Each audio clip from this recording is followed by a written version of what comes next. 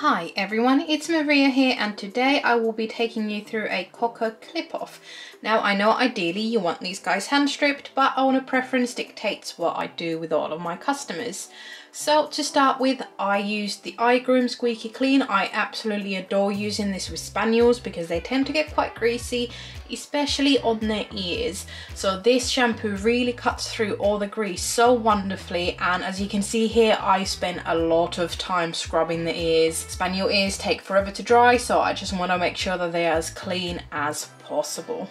And my facial of choice is the Tropiclean Blueberry. Smells delicious and cleans the face really well while being really sensitive on the eyes. And then getting him all rinsed off quickly. Luckily doesn't take too long with the iGroom shampoos. That comes off really nice and easy and then use as many towels as you need. There isn't a limit, you can always wash them, get the dog as dry as you can. And to help with the blasting process, I'm using the Groom Professional Fast Dry Spray. This stuff is so good. It helps with the blasting, it cuts down on your drying time so much, and to help with those spaniel ears as well a happy hoodie. I will use these with every single dog but especially with the thick spaniel ears they are invaluable. And as i am doing a clip off i really like to blast against the growth of the hair. That really lifts the hair up and makes it easier to achieve a nice even finish on the dog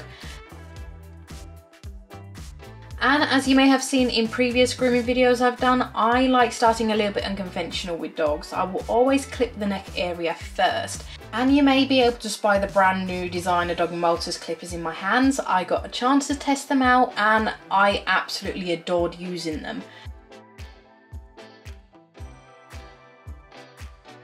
And with Spaniels, this under the ear bit, I really like taking that short. It's just because it clips skunk and everything. So I just carefully clip that area. You always want to be careful with clipping underneath the ears because they're so foldy and it's really easy to catch the skin. And before I pop the grooming loop back on, I just make sure that I clip slightly down the back. It just means the loop's not in the way as I carry on clipping in a minute. And this is where I start what would be the conventional grooming line. So I go all the way down the back and then work my way down on the sides. And you always just want to make sure that you are clipping with the growth of the hair. So don't just carry on going straight across as you get to the ribs. The hair will slightly curve down here. So just make sure that you're clipping the way the hair grows so you avoid clipping lines. And with the tuck here, you can see that I'm pushing it slightly out with my other hand. It just means that you get an even clip down there. And again, because it is a slightly looser bit of skin, it is easier to catch. So just making it all tight means that you get a good finish on that.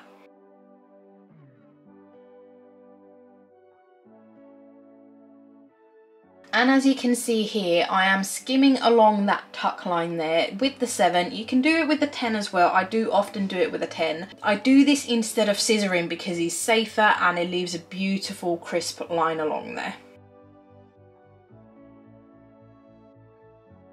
And a really handy tip for clipping inside the back leg. I will always go behind the dog as you can see here and I will clip the leg from behind. And pretty much the same with the front leg. I will always lift the leg up and go from underneath and in front of the dog. That way you just get a nice clean finish underneath the tummy and in the armpits. And you can see here as well, I am skimming the 7 along the line of the skin here to get a crisp finish. And this is where you will see Dudley beginning to be a spaniel and putting his head in the way as I try and clip.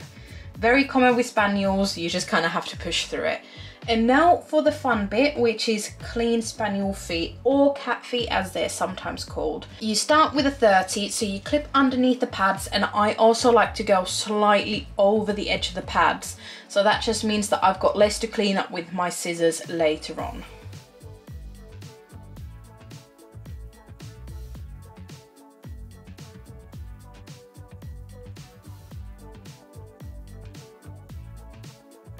And after the clip, I will always pull the extra hair from in between the toes with my fingers and with a slicker brush. And then I will go in with my Groom Professional Astrid Curves. I really like these feet because they are so thin. I will just take the bulk of the hair off first and then I will push the toes apart with my fingers and go in between the toes with my scissors. You could do that with trimmers as well, it's just personal preference. And afterwards I will just tidy up any wispy bits with my thinners. These are the Designer Dog Aureus thinners. And here we go, a nice clean foot and now just repeat that three times. And if I've missed any wispy bits, I will just go in quickly with my Designer Dog Aureus chunks to tidy up. And with a lot of Spaniels, I will either clip the tail completely off or I will flag it. So as you can see here, I'm just twisting the end of the tail and cutting it. These are my Groom Professional Sirius Straights. And then just combing with a little bit of help from my colleague and just tidying up that flag line that I've just created.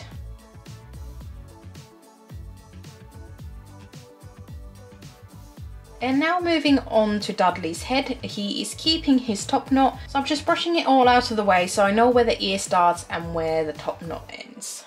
I'm using a four blade here and what you want to remember is you need to keep the ear leather flat against your hand because this is where accidents will happen when the skin gets caught between the clippers.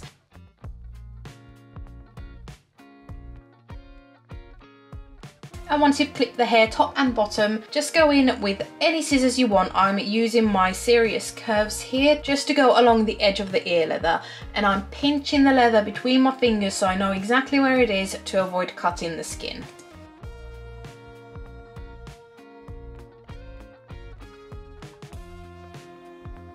And final little step, just blending in any top knot wispy bits into the ear with my thinners. And here we have the final result. And I forgot to mention, I used a 7 blade on his body and legs. Thanks for watching guys, I hope you liked the video and make sure to subscribe to the channel so you don't miss our next upload. Bye guys!